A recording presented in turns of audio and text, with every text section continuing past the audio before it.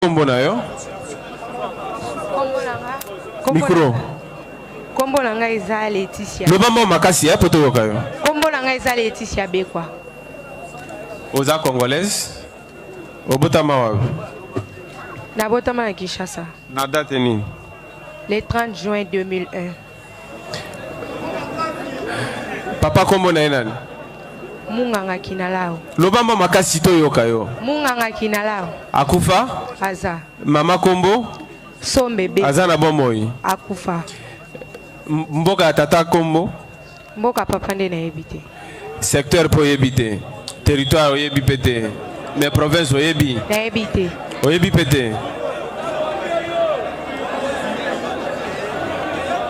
État civil na?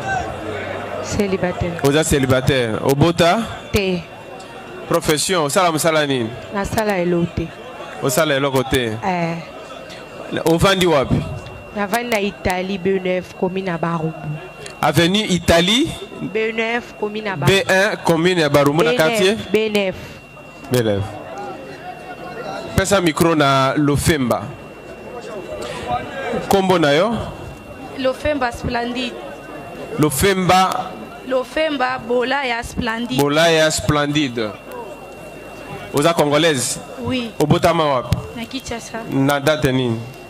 Euh, le 18 mars 2001.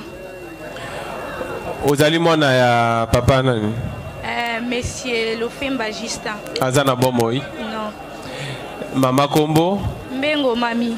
aza na bomoi oui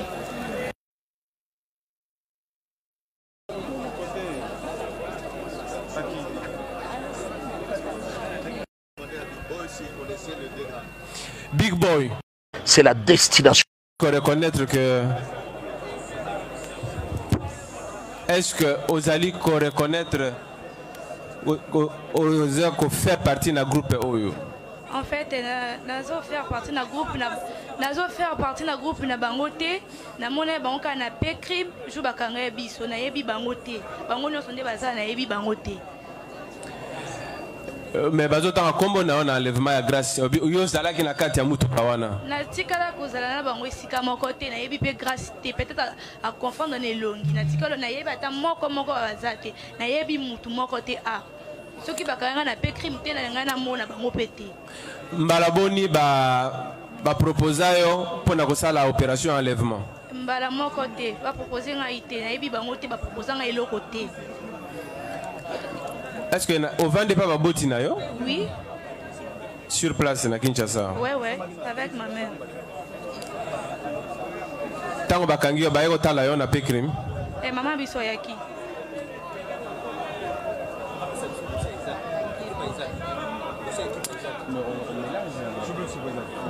Oui, monsieur le procureur.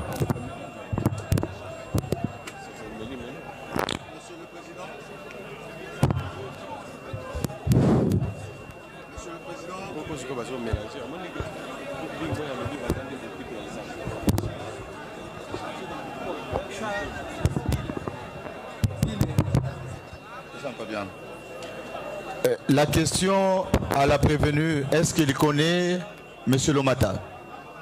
David. David Lomata,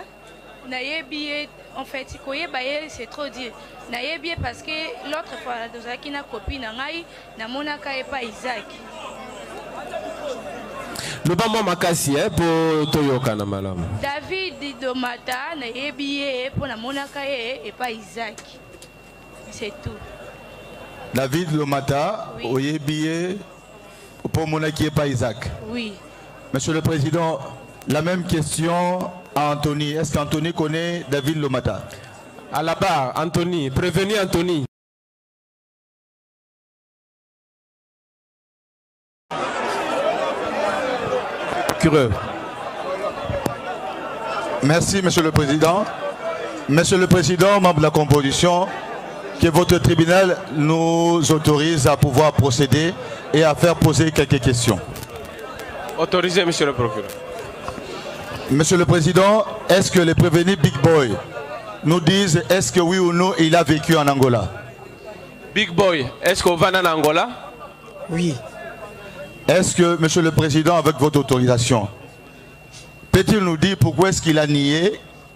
avoir vécu en Angola lors de son audition na ipekiri ntango baauditionne yo mpo na nini owanganaki ke ovanda na angola te na nie yango te mpe bapose yanga question wana te Monsieur le Président, je rappelle euh, par votre tribunal au prévenu que la question a été posée par moi. Est-ce que peut-il nous dire s'il a vécu à Bumbu Est-ce qu'on va à Bumbu Na Bumbu, na Banda, pas à cher. kosala nini ye nde aza mwana bombo kosala nini epa na bango aza camarade na ngai et est ce que l'avenue nyonso vous rappelle quelque chose avenue nyonso yonso yonso oui ça me rappelle quelque chose peut-être nous dire ce que ça lui rappelle Bon, eza avenue na vanda na avenue yango wa. Eloko nini ya mutuya oyo oza ko retenir oyo osala na avenue wana? Nasala eloko moko te. Ovanda na balabala yango na mbula nini à peu près? Kala vraiment ba 5 à 6 ans passés. obandaki kofutela ozalaki epa baparent to epa bandeko epa bacamarade monsieur le président il a habité effectivement chez les parents il ne vous dira pas pourquoi est-ce que il a été obligé de quitter là-bas Monsieur le Président, est-ce que votre tribunal peut-il poser la question de venir s'il a habité la commune de Lemba Est-ce qu'on va dans la commune Lemba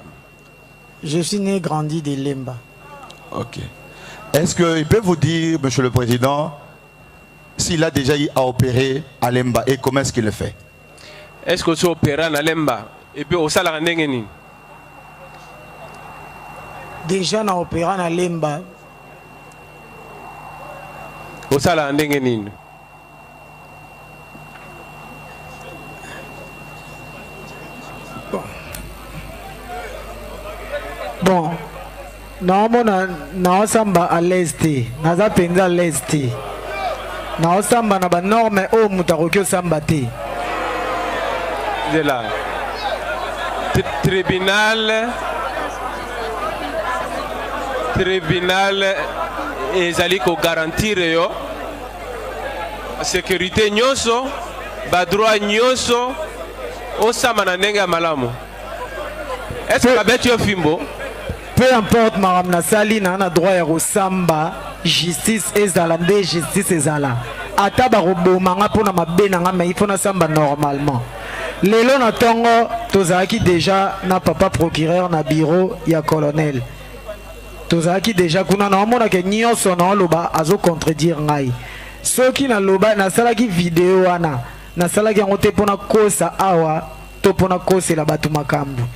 il fallait batika ngai boyoka ndenge abenga manipulateur soki vraiment naza manipulateur ya solo ou bien soki nalingaki naloba verité to lokuta naza a mpo na kokosa te mpo nasali déjà mabe condamnation ou pas nazo subir nyonso alors répondre na question na motuna ya, ya procureur ndenge olobi ke ondimi iyo ke operaka sikoyo operaka ndenge nini na lemba na lemba toopera plusieurs fois plusieurs fois mais ezalaki na bandako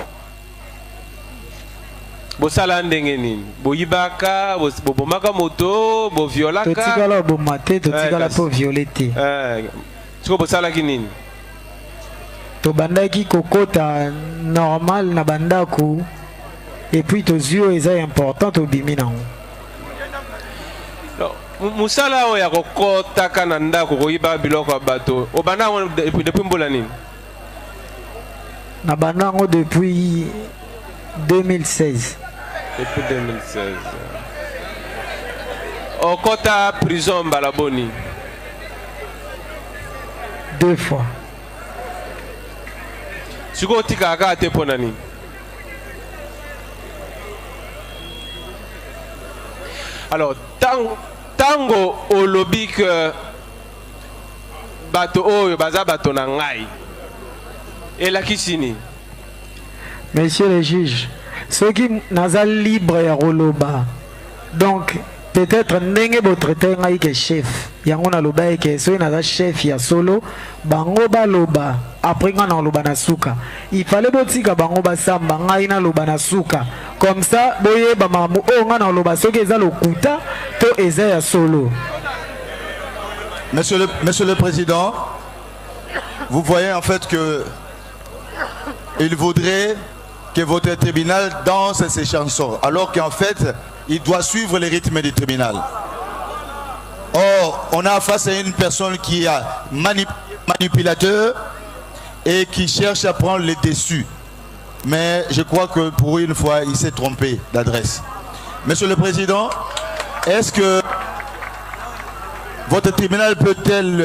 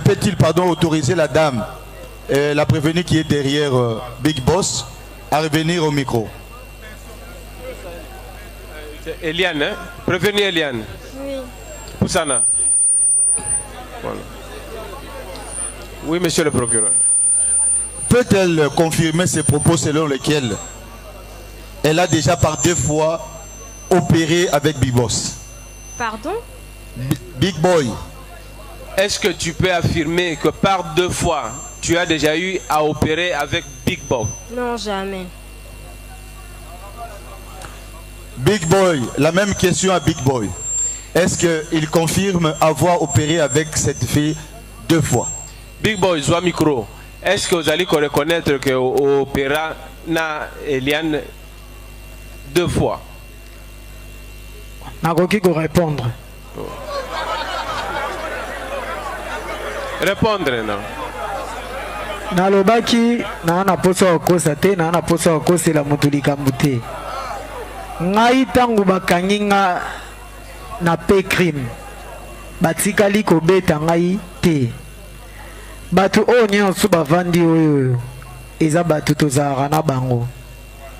ndenge bobengeli nga chef de bande Ngai naza chef de bande te.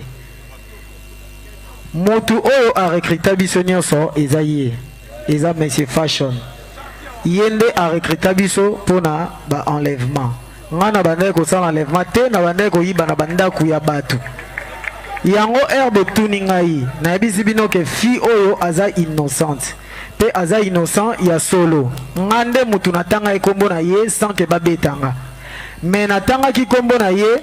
po fille na biso oyo tobandaki kosala na ye makambo azwaki fuite ere bakangi nga tellement ye nazalaki na baproblème na ye nakotisaki ye na makambo oyo ayebi te biso nyonso totikali awa moto akoki okosela ye likambo aza te tokoki okufa na makambo ya moto te verite eza yango wana video wana nasalaki eza video nasalaki yango mpo na santima te nasalaki video wana ya solo eza ndenge tosokola ye na kasho meme isak so amati aye osamba bolingai bomona alingaki alobake non batortiraki biso babeti biso mpo toloba makambo tooloba or ke batortire biso te makambo oyo bakangeli biso eza makambo tosalaka ya solo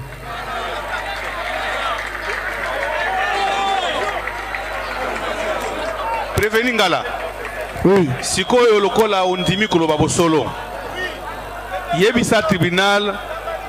niati ajuaka role nini ntango basalaka baopération niati biso tozalaki kotambola tozalaki miyibi me na bandako ya bato Mutu ayela biso idee wana eza ye. Mbala suka bosalaki operation ya niati eza quand? Mbala suka tosalaki donc eza kaka na mois na mois de juin oyo. Yo jouaki role nini? Nga na jouaki role nazalaki na kiti ya liboso ye azalaki na volant et puis tozwi mwana mwana mwasi amati heure amati fi tovandaki na ye fi yango aleki liboso nga nakomi na nsima nde tokangi fi wana catch tobimisi ye biloko nyonso azalaki nango na mbongo apesi biso na code ya mpesa na ye tobimisi mbongo obwakaki ye wapi totikaki ye na, na poids lourd fi oyo bozalaki na ye na nsima oyo ayaki liboso azali awa azali awa te aza fi moko boye so otali meme na, ba, na, na bapv na biso komone noela mais depuis bakangai biso azwi fuite oyo aza na balox nkombo na ye nani ye nkombo na ye mala ajua role nini na opération na bino ajua meme role na biso nyonso ye asalaka nini ye ezalaka soki antoni aza te ye nde akosala role ya antoni role nini antoni asalaka role mpo bango baza mwa masi mpo na kobenda mwana mwasi donc mbala suka osalaka opération na antoni oyo abetaki mwana mwasi eza quand eza na début ya, ya juin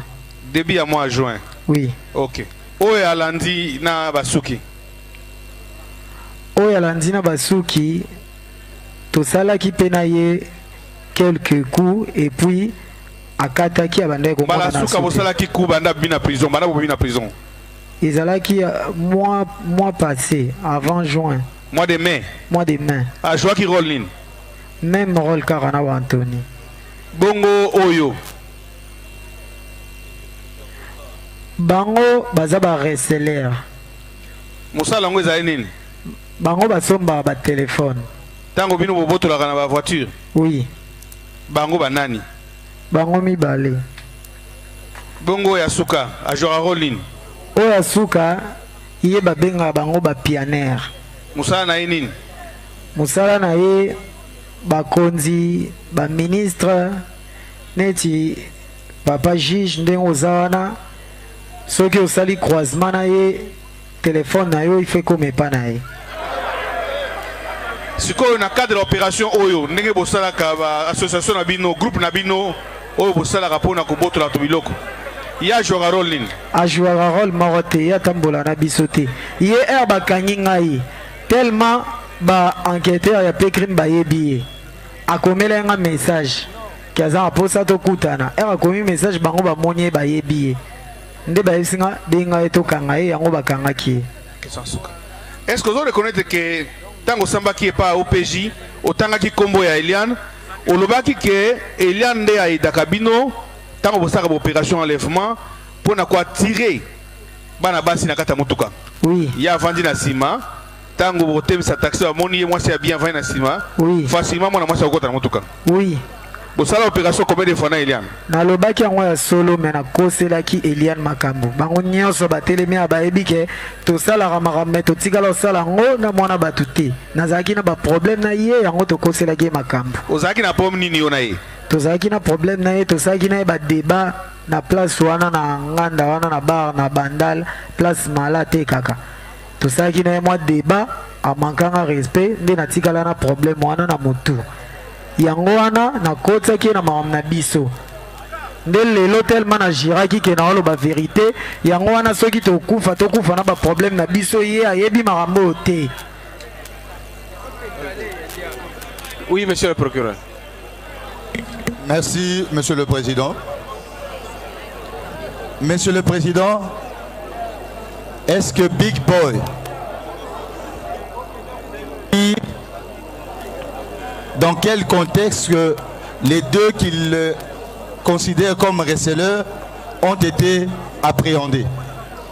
liyebisa na tribunal bao mibale wana oyo obengi baresteleur bakangaki bango ndenge nini nabengaki bango baya kosomba batelefone en fait nabengaki nde ye ye nayebi ye te nabengaki ye ye sikoyo nde moto aye na ye il paraît ke azalaki na mbongo te ye azalaki na mbongo ayaki na ye mpo azwa mbongo mpa na ye nde bakangi bango yo oyebi ye te na Mais olobi ka yazali reseleur Mais bayaki bango balé bayaki pona copa téléphone. monsieur le président membre de la composition le jour de l'arrestation c'était le jour où ils avaient convenu d'opérer cette nuit-là ensemble et les rendez-vous avaient été fixés au niveau de Béni le gouverneur et, pardon, bénis les visionnaires. C'est sur base de ça qu'ils ont été appréhendés. est ce que okoki koconfirme makambo procureur alobi eza lokuta baenqueteur oyo bakangaki biso baza wana moko ye wana bokoki otuna ye ayebi eloko bakangela ye bango tobenga ye bango mpo baya kosomba telefone makambo wana basala yango te pesa prevenu au micro est ce que pesa komona Simba Kibangudi. Prevenu Simba. Est-ce que oyebi prevenu Eliane? Bon, Eliane, tonga na na kataki musala autant na zonga endaku na WhatsApp. Ba ebisa ngai ba menacer B-boy. Ah, ba menacer B-boy sous nde nini? Po souvent tant tu ando tambola na ye ngai. Ozoke de musika. Ouais. Est-ce que oyebi malam? Te, na yo kaka ke ba swana ka beta ke bouteille na mutu. Bon, est-ce que possible participant asi a participer na perpetration ya crime te ye nayebi ye te botambola na ye ata mokolo moko te namoni yaka nde bakangi biso mbala liboso mbala liboso pesa micro na est ce que oyebi eliane eliane nayebi ye bien oyebi ye bien ah. oyebi ye ndenge nini eliane aza petit na nga oyo oh, kea bayaka mpa na biso bayaka omela masanga me natikala omoni na makambo te makambo ya enlèvement aza kuna na kati te depuis bakanga biso natikala koloba te ke elia nasalaki boye to nini te nayebi ye te atikala mpe kokɔta na motuka te mpo bokende osala makambo akota na motuka te bakota na motuka ka le jour bakangaka biso nde bazwaka ye bakoti ye na motuka na me ye na makambo ayebi yango te pesa ye micro oyebi eliane namoni ye kaka Nkolo oyo bakangaka biso. Voilà maboko na poche. Euh, est-ce que bo azalaka groupe moko na bino? Te. Mbala liboso na mona ye journée oyo bakangaka biso. Pesa micro na Reda. Reda, est-ce que oyebi Eliane? Oui, nayebi ye. Ye pe aussi omona ye na groupe na bino? Namona ye na groupe moko te, nga nayebi ye camarade na nga. Tofandaka ne, tomelaka ne ba bière heure moko na Bandal. Omelaka na ye ba bière na Bandal? Oui, nayebi aza copine na ngai ya Bandal, tomonana na Bandal. Hmm. Mais na makambo enlèvement nayebi te namonaki kaka le jour oyo bakangaki bakangaki biso nyonso pesa mosusu micro antony est ce que oyebi eliane oui nayebi eliane mais A participera te. Bo recruta ye te. Hein? Te. Ye aza membre ya groupe na bino te. Hein? Te. Ah. Revenu Niati.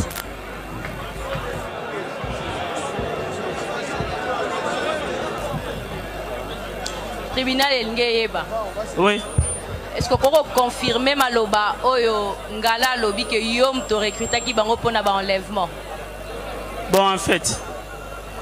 bon nayebi te soki eza kaka miso ya bato nde elobisi ye deja bidu ngai nayebaki ye te ngai nayaki oyeba bidu nzela moko bango mibale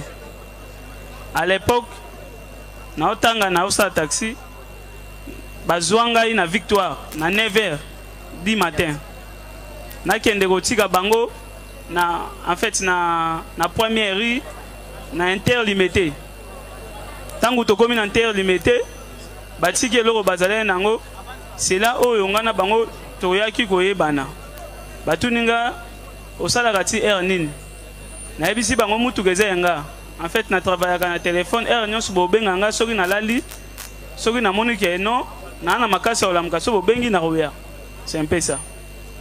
Ta, mutuka eza ya yo oui. soki babengi yo ntango nyonso oui. okoya oui.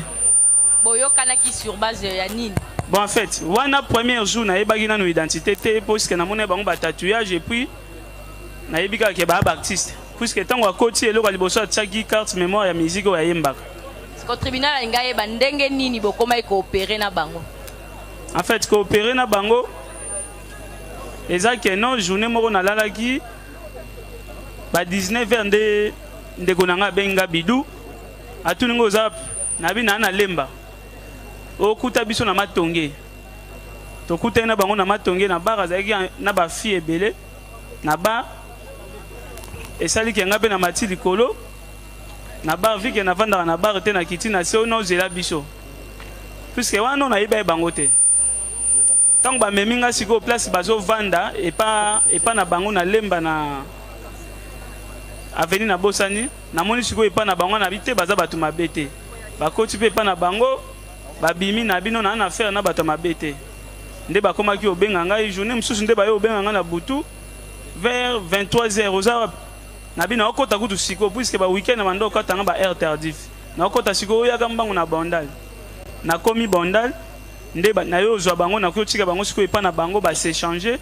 balati bakilote na babubu na balagome babimi oyo oh, toke bandal toke bandal kota boye kota boye kota boye kota boye zela biso awa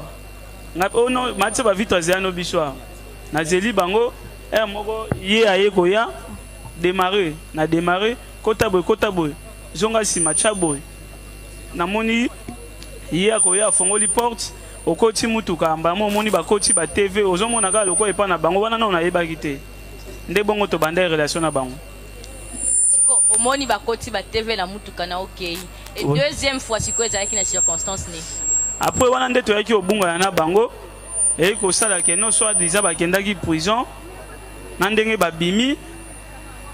kokutana na bango ntango babimi prison toyaki kokutana na bango na nzela ya facebook ndeko nanga big boy nda komela ye ngai atuni ngo oza na bi nazali boni na bi bien oyo naoluka yo na bi nazali natinde ye nimero na ngai ye mpe apesi ngai ye abengi ngai na ye oya koya nazoya nde na ye okutana na ye baye oyamba nga ye na antony nde baye bango mibale nzela moko baye ayebisi nga ah, apresente nga oyo antony camarade na ngai ah, nde ni mutuka nga na bi mutuka eza bien mutuka ezosala nyonso bien nga na bi wi mutuka ezosala nyonso bien na bi mutuka ezosala nyonso bien nde topusani place tozalaki place bamemi nga place bazovanda na gare voiture ayebisi nga est ce que centrale oyo matia bavitre ezosala na commande ya, ya yo nga na bi wi ezosala me bavitre oyo ya mipanzi mipanzi emataka soki client alobi amati obia client abimata emati kenga na commanda yango awa esala te oh non il faut il faut bongisa yango puiske tokóma kosala cope moko sokola sokola naokosela ye te naoloba verité puiske ekomi temps oyo alobi toloba verité donc soki moto akokufa akufa na mabe na ye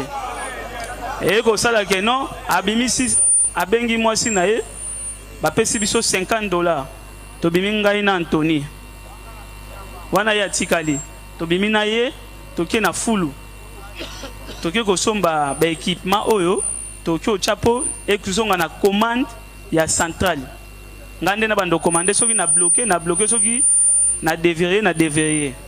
toke mpe tosali nde alobi no ifo otya lisusu fime toke to renforce fime wana tozalaki na, na antony toye ozonga tosokolisi yango to ekomi ba 18 heures nalingaki kuna nazonga nalobi nakende na oya heure moko non ifo ozalaka tobanda mbala moko si je me rappelle bien premier jour tobimaka na mwasi na ye dina mieke baboyani epuis aza lisusu awa te tobimaka na dina premier jour nde baapprendre ngai puisque avant bandaki kosala na moto soit disant azalaki paster soki ndenge nini soki ndenge nini azali oui oyo babanda kosala na ye chauffeur wana bayebisi ngai no tobandaki kosala na chauffeur mais chauffeur wana bakangaki ye mpo azwaki iphone balandelaki eloko esovaki ye mpo aza paster boyeboye eye kosala ke non premier jour tobimaki tobimaki na mwasi na ye na mwasi na ye dina bayebisi ngai tosalaka boye dina akovanda na katikati antoni avandi mopanzi ye akovanda liboso totiki place moko role na ngai ezalaki nok yo ngai role na ngai ezalaki kaka kobima na re koluka kaka mwana mwasi mwana mwasi so mwana mwasi akoti ngai nasali lokola nakosoli dina akozwa motu atie boye Anthony abendi ye totie wana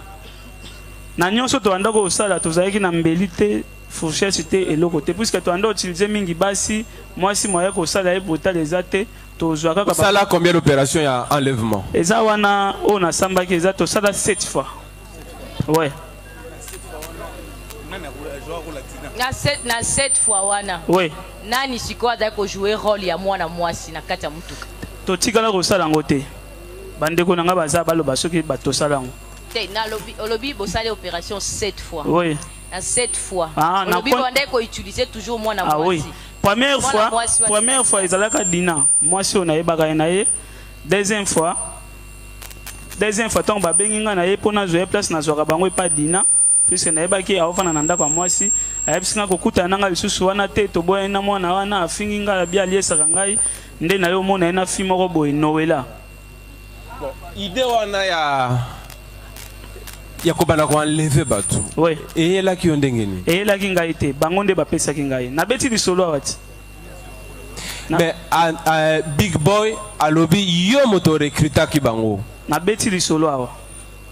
Ye pe abeti ya ye. Ngai nde nabeti lisolo na ngai. Donc ya yo nde ezali ya malamu ngai ya lokuta. Ngai nakosi te. Soki moye eza a contredire ngai. Ye alobi ke yo moto recruta bango. Même pas. nayebisi yo relation ya ngai na ye ndenge ebandaki relation ya ngai na ye ebandaki ndenge nini apres bande ebele komonana te comparer le prévenu comment simba zwa mikro nani arekritaki bino yo yo nani arekritaka yo nga motu arekritaka nga azalaki te ntango nayaki kotala ndeko na camarade na ngai big boy nde big boy atalisi ngai fashion na bia ah, chauffeur na biso mwa kala ndo mema biso na vie ya butu tanto ando marché na bandako ah, nde basololi baexplikaki ye ngai azalaki te mais na pensaki lokola kende azongi bongo tosala marche ya butu bon question ya tribunal ezali, ezali simple tika pesa moninga uh, micro nani arecrutaki yo ngai ntango makambo oyo tu oyo na nde omona bango kaka mpo ngai nani arecrutaki yo ngai moto arecruta nga mpo bango bazali na mbongo na ngai ya ndako nani arecrutaki yo moto arecruta nga aexplika nga makambo oyo tu eza fashion okay. mais Ye- suka wana suka wana père yoka nga naloba pardon foma pardon foma naloba loba ngai ti omoni nga boye ya papa na nga devant bato nyonso baza awa. ngai nde na boye nasala cope na nga bien sûr bakangi nga na makambo ngai tozali na baproblème na ndeko na nga o baproblème ke ndako na ye nga na zela ba mbongo na nga apart ba cop na nga na sala ba ndeko na nga basi ba ebi na sala ba cop na nga na zui mbongo ya garantie na pesaki mwasi na ye nde mwasi na ye asala biso na erreur azua mbongo na biso alia mbongo na ngai alia ngo tanke ndeko na nga sikoyo tofandi na ye tro libanda nsima ya esinga ah mala ofanda boye nde nini ke yokanga naloba ti ofanda boye nde nini ke oyokanga naloba ozofanda boye nde nini ke ekipi ezolala nde apresentanga fashion apresentanga fashion fashion na explike nga ah mala mpo mpo bafuto mbongo na yo mbongo na nga eza mpa na bango ya garantie faya bapesa nga kwa 900 dollar oyo napesaka bango ndenge ye ayesingaki ah mala moto wana mpo apesa mbongo bien yo fokota na terrain nde fashion explika nga ah mala tosalaka boye tosalaka boye premier jour moto amemanga kokota na terrain elakisi nini wa kokota na terrain elakisi nini kokota na terrain eza ke tokota na 18 a partir ya 18 a tokutana babenga na telefone malayaka nayaka mpe tokutani na ye ezala kuna aza kobia bambongo na nga kuna mapaka makambo na nga babenga nga na 7 loba malamu ouais, na expliqué obandi bien mais obandi kotika kodevie babengi yo mpo okɔta na terrain elingi kolakisa nini nayebaki nao te babengi nga na 7 ri na ye mpa na ye na 50 dollar na nga napesi ye nde esinga mala makambo oyo ezalaka boye yo okozala lokola client ovandi na nsima fille moko okomona ye kaka aoya oyo batangi na nkombo ya noela ndenge fashion explike nga o oh, soki tofanda na carne ni client ni mutu babongisa camion na ye tokotinga na ye nde client esi fashion na ye esingaki yo fo okanga mutu catch ntango okanga ye kati na force na yo mpo na kondi nazala boye te na force na yo ndenge tokozwila mbongo nsima tokenda na bango mpe na 18 heure kaka wana na butu wana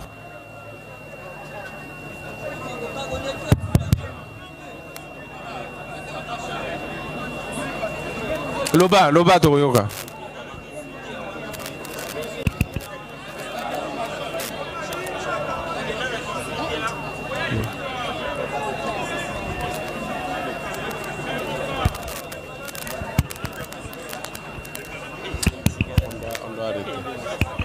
tokenda na 18 ya wana ndenge mpe ngai nayeba na makambo yango te nameka koforce ye moko fashion alobaka camion eza ya nga mbala suka komata su na camion na nga te nde mpe natika tokoma okutana na ndeko na nga b-boy oyo tobetani mpe miziki esika moko ndenge ye esenga ah mala ekufeli te naoluka bato misusu me yo fandaka na ndako na nga jour yango ntango bozwaki mbongo bokabolaki combien combien yo ozwaki combien jour yango hmm. ngai lokola nayebi nanga makambo te bapesanga lokola ndeti bapesanga lokola 100000 francs bapesanga 100000 francs ntango nazwi mbongo wana yemba mwa bi te telefone kaka eza ya nga kokota na kaka na nga te ah nga mpe namoni ah bababengani nga nazongeli kopi na nga nazongeli opération wana bobandaka yango na banda heure nini ti heure nini tobanda yango na 18 heure ti heure ye akolobaka tokata nsima totiki non ye nde mokonzi na bino selo nga nde nayebi ti baloba makambo wana nayebi te me nga nayebi ye nde mokonzi ndenge aexplike ya nga nde abengana nga nayaka lisusu te natikala makambo na nga me biba loko azali na mbongo na nga abeke moye eza te ke nakima obule yoka na kimi me yo ofandaka na ndako na nga ti omoni bakonzi bakovenir eda telema telema zwa mikro nani arekrita yo ngai eza makambo ya 2019 nayebi moto aproposa ngai ezalaka billboard moto moko arekrita yo te billboard moto aproposa nga depuis 2019 mpe nameka yango une fois mbala moko na accident esili pesa micro na nyati antony nani arekrita bino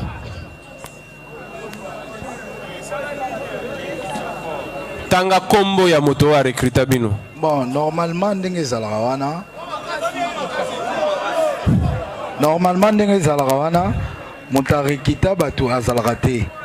ndenge eza wana chef eza moto akoya na motuka ye nde azala chef lokola yo oyaki na motuka seke yo moto oza chef te nga na ya na motuka te ngai na ye toyebani te ngai nayebi camarade na ngai nde na explikaki bien ngai nayebi ye te nayebi camarade mais bosala opération ensemble non bon nakokosa te nakonie te nasala opération deux fois deux fois deux fois ouais. Ouais. c'est bon comparé yoko yo bino mibale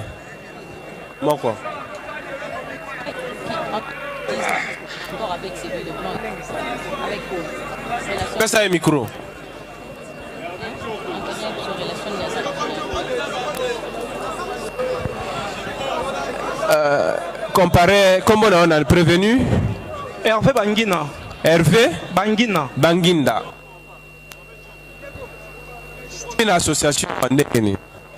Bon, nakomi Na nakotisaki yo. bon nakota na association te naza leseleur mpo nasombaki telefone epa b-boy Osalaki nini? nasombaki telefone epa b-boy Na combien? atikala ngai bon atikala nga ba ba trois téléphones boye moko atikela nga na 150 dollars moko atikela nga na 80 dollars atikela nga mpe na télévision nde mo ezali na ndako donc soki osombi boye okoki koteka bon nasombaki bongo nake mpe koteka mpo natekaka mosusu oyo ayaki kotekela ngai nde naza na mbongo te nabengi moto ya sombi okɔta na association na bango te mpo na koenleve bato nayebi yango kutu te nzambe likolo omona ngai nayebi te nayebi te siko biloko oyo osombaka wana bayebisaka yoke eutaka wapi bon ngai nayebi ye aza dj aza dj toando mone baimage mwa ndoki baconcert afali baobwaka ye na bareba barep afali pardon nayebi eke aza dj nayebi te ke asala mosala mais kozala dj ça signifie kozala na batelefone ya chere bon nayebi ke aza dj mosala bambongo na ye batelefone atekela ngai le mosusu batelefone atekela batelefone mpo na nini yo olingaka kosomba telefone kaka epai na ye mpe okende kotekela moto mosusu kosomba epai na ngai abanda kosomba epai na ngai ase boyebana banda kala te babanda kala vraimen te na toyebane kaka mikolo oyo ntango akoti prison ntango abimi prison nde nakomokopere tomosolola na ye na bango nyonso nde bazali awa oyebi nani so na bande ntango na bande akende na ndako na ye mpo na bande mpe kodefise mbongo ande kokuta mala epai na ye na ndako na ye na sinkine nanda kokuta ye na ye nayebi ye te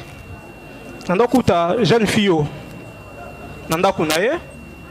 nanda kokuta mpe antony na ndako na ye namandaki mpe kokuta fashion mais fashion nazomona nde na misu na porte na motuka miso mona nauti epai na nato defise mbongo na miso tosomba telefone naobima miso namona fashion namonaki une fois epa biboy une fois fashion pesa au micro pesa prévenu au micro tala ye malamu na miso est ce que bosi bo participe à une opération moko na ye ensemble ye ye ye hmm. ye aza vie na nga nga na na vandi na bandal trop mais na mwana bandal te mais nayebi vie na nga